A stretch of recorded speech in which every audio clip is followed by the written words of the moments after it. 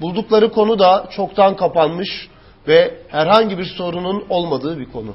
Şimdi e, bu tespitin ardından şunu söyleyelim, şunun altını iyice çizelim. İçişleri Bakanlığı'nın e, izin vermediği, usulsüzlük görmediği bir soruşturmaya 2011'de verdiği kararın ardından bir yeni bakan geldi. İçişleri Bakanlığı'nda bir şey mi değişti acaba? Yerel yönetimler geliyor yani verilen mesajı nasıl yorumlamak lazım? Bir tim, şehir dışından gelen bir timle bir operasyon. E, sevindirici kısmını siz ifade ettiniz, o da kaçmasın onun da altını çizelim. Buluna buluna bu dosya bulunmuş diyorsunuz. Bu da Evet. önemli bir Eskişehir için kıvanç, Evet. CHP için bir kıvanç. Evet. Ben eee şeytanın avukatlığını yapabilir miyim izninizle? Eee Bence keyifli olur güne başlarken de. Eskişehir bu dönem bakansızdı. Kemal Unakıtan bakandı Eskişehir'den sorumlu ve Kemal Unakıtan 2009 yılında, 2009 yerel seçimlerinden evvel Eskişehir'de büyük yolsuzluklar diye özel gazetelere manşetler attırıp Eskişehir'de dağıtmışlardı. Seçimlere 3 gün kala. Şimdi eee Kemal Unakıtan Eskişehir'de de tutunamadı, AKP'de de tutunamadı. Bunu gördük. Şimdi yeni bir seçim arifes- arifesindeyiz. 2014'ün Mart'ına doğru yaklaşıyoruz. Eskişehir'in bakanı yoktu. Ama şimdi Eskişehir'in bir bakanı var. Milli Eğitim Bakanı artık Eskişehirli. Yani Nabi Avcı Eskişehir milletvekili olarak bakanlığa getirildi. İçişleri Bakanı İçişleri Komisyonu Başkanıydı. Bu bütün şehir yasası geçerken Sayın Muammer Güler eski validir.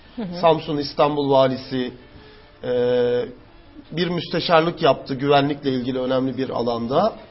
Şimdi İçişleri Bakanı oldu. Milletvekilliği nereden? Mardin'den. Mardin hangi yarışa girecek?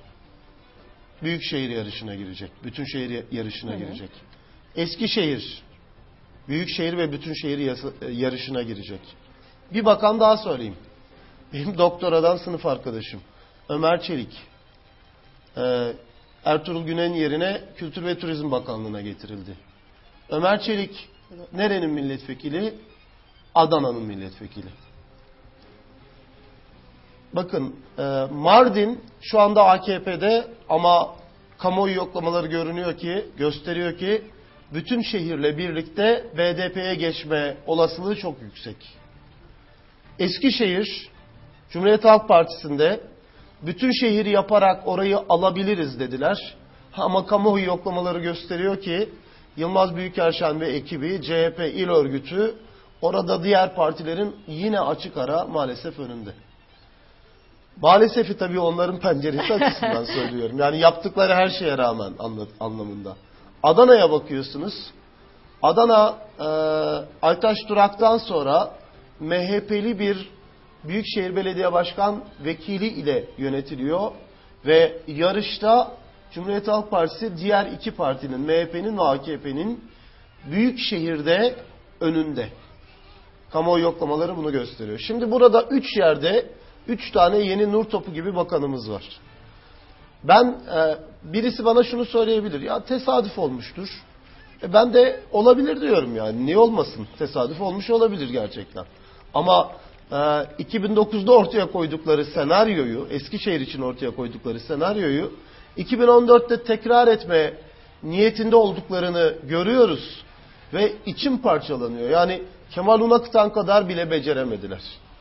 Nasıl bir tepki var Eskişehir'de biliyor musunuz? Yani e, artık bizim e, özel çalışma yapmamıza gerek yok. Cumhuriyet Halk Partisi'nin yerel iktidarı perçinleniyor diyebileceğim. Bir anlamda kadar bir İzmir'de şey var. olan mı oldu? Yani bu e, çünkü burada e, bir adalet duygusunun zedelenişi var, bir haksızlık var ve o haksızlığa karşı tepkinin artışı CHP'ye e, yarıyor gibi bir durum söz konusu Ee, anladığım kesinlikle kadarıyla. öyle. Kesinlikle öyle.